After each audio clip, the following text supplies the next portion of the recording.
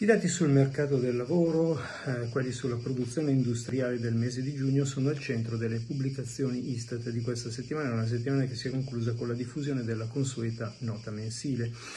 numeri soprattutto analisi, eh, dalle quali apprendiamo eh, che eh, nei prossimi mesi si attendono possibili flessioni dell'attività manifatturiera accompagnati da una moderata vive, vivacità nei servizi, l'aumento del disavanzo commerciale, eh, la diffusione dell'inflazione, il netto peggioramento della fiducia dei consumatori possono generare eh, rischi al ribasso per l'evoluzione congiunturale. Dopo il sorprendente risultato sul PIL nel secondo trimestre, lo ricordiamo con una crescita dell'1% in termini congiunturali,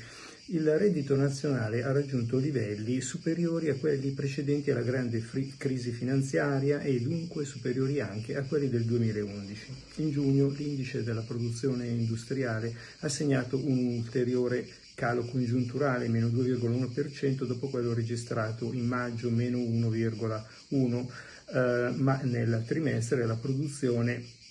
ha comunque mostrato un miglioramento di 1,2 punti percentuali rispetto al trimestre precedente e questo è un dato coerente con la variazione del PIL di cui si diceva. Il mercato del lavoro sempre in giugno ha registrato un aumento dell'occupazione rispetto al mese precedente di 86.000 unità, trainato dalla componente dei dipendenti permanenti più 116.000 e ha prodotto questo, questa variazione eh, un miglioramento del tasso di occupazione che ha raggiunto il valore del 60,1%, un massimo che non si registrava dal 1977.